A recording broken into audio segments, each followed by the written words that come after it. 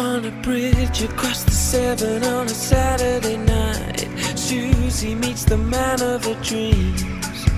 He says that he got in trouble, and if she doesn't mind, he doesn't want the company.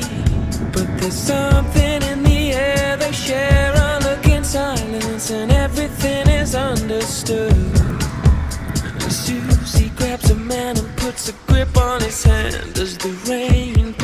tear in his eye. She says, Don't let go. Never give up, it's such a wonderful life.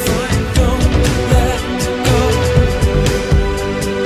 Never give up, it's such a wonderful life.